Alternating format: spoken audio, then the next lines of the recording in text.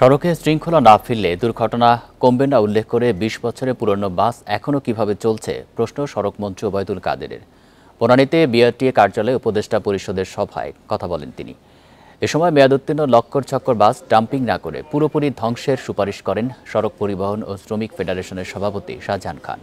আর এসব গাড়ি সড়ক থেকে কেন উঠিয়ে নেওয়া হচ্ছে না জানতে চেয়ে পরিবহন মালিক সমিতির সভাপতি খন্দকার এনায়তুল্লাহ বলেন, এর দায় শুধু মালিকদের দিলে হবে না।